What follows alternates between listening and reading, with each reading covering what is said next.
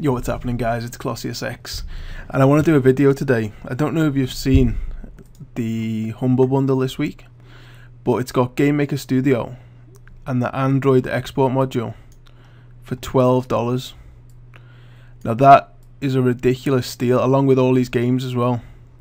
Honestly, I paid 60 pounds like GBP for the module and 60 pounds I think it was 60 might have been 30 for professional so you can get a lot of it for $12, which I think you should get. So what I'm going to do is I'm going to do a tutorial on how to get started making a simple game for Android uh, with GameMaker Studio. So I'm going to do this in parts. So I'm going to do part one, just setting up all your sprites and things like that, and then part two, we'll be putting it onto the Android phone, and then part three, I'll just be testing it and stuff. Uh, so yeah, let's just jump in. So what you'll need first of all is you need to download Android SDK. Um, I'll put a link in the description below. You can just download it and put it into your documents or something. Once it's in your documents, I will show you the exact place where you need to link it up. Uh, you'll also need the NDK, which is part of the Android SDK. You'll need to install it separately as part of it. But yeah, you can just extract it to somewhere. Um, yeah, and then what what I do is you can go to a website called graphicriver.net. This is what I do. I'll show you. And then just type in game kit. Now if you can't draw this is the best website for you because I can't draw myself and I use this website a lot to get sprites.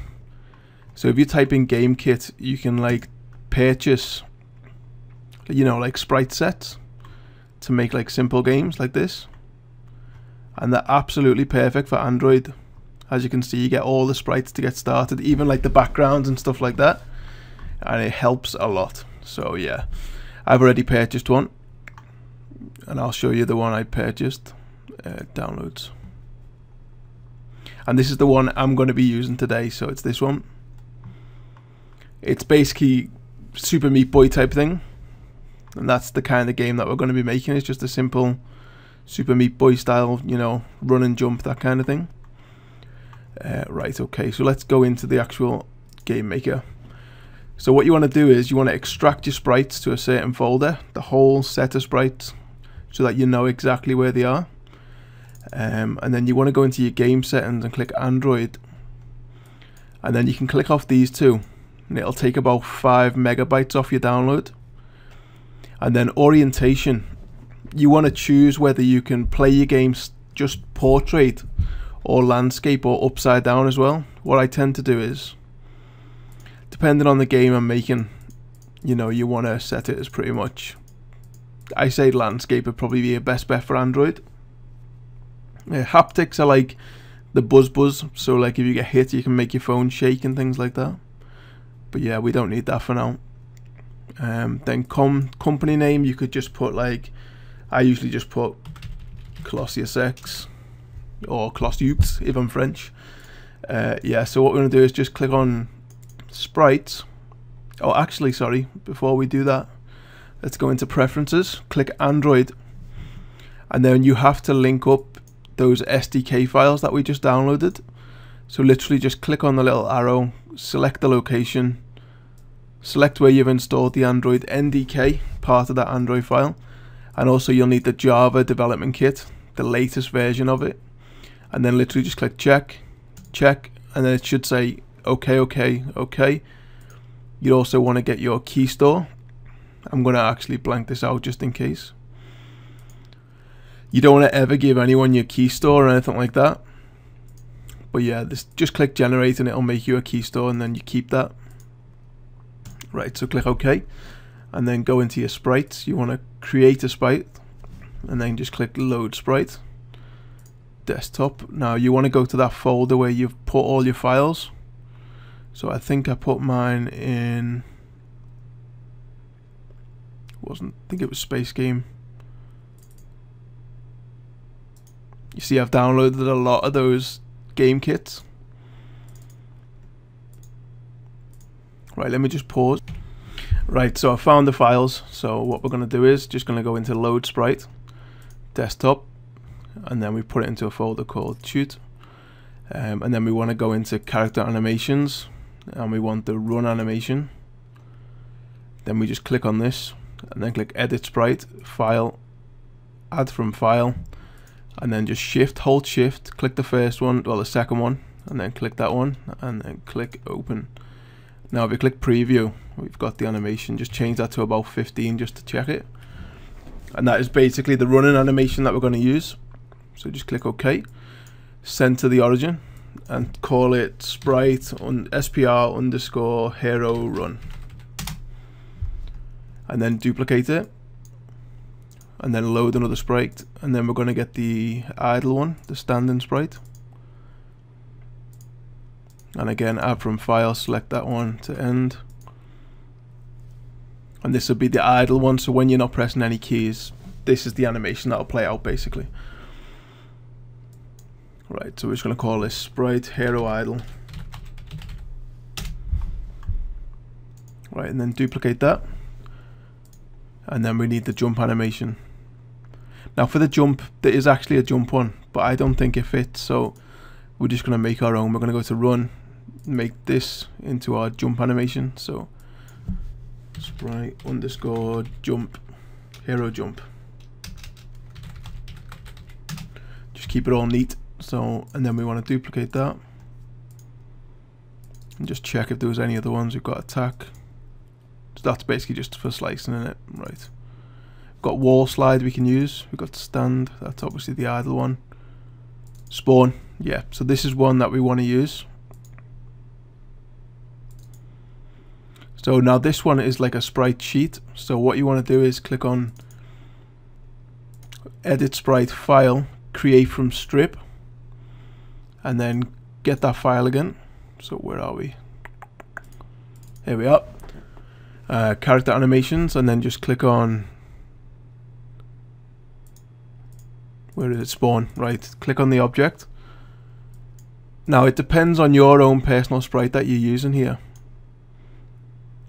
but for this one I've already checked it it's like 60 so it's basically like 20 pictures so 1 4 5 6 7 8 9 10 11 12 13 14 15 16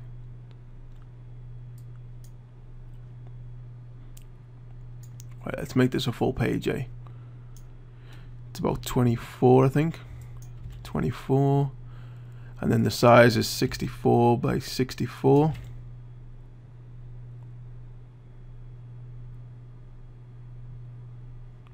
So one, two, three, four, five, six.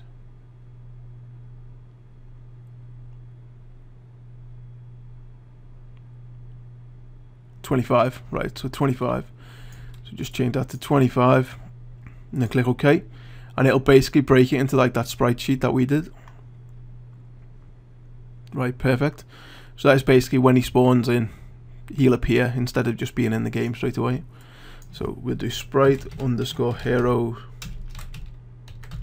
spawn and then center again. Right, perfect. Now we've got four sprites that we can use. Now sprites are pretty much useless uh, as objects until you actually create the object. So we click on create object and then we change it to sprite hero idle and just call this one object underscore hero. Right, and we're going to be making a physics-based platformer, so if we click Uses Physics, modify the collision shape. Now that's pretty much perfect for what we want, because it doesn't need to be perfect, it's only an Android game, so, you know, you don't need to be have it too perfectly like on the exact model, so that'll do for now. Save it. And then we want to create a sprite. Click Edit Sprite and we want to make this say about 200 width by 64 height. Um, that'll do for now. Double click on it and just basically paint it a color that you know you, you know you can see. Just simple like this. Because this is basically just going to be a marker. So we do sprite underscore floor.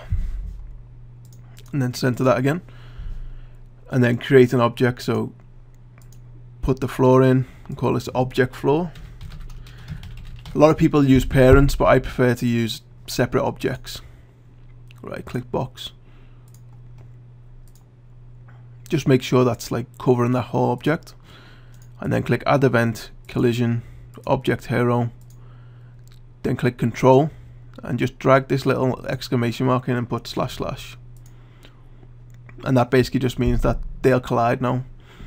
So save it I also like to go into the uh, hero object as well and just put the collision for him as well on the floor.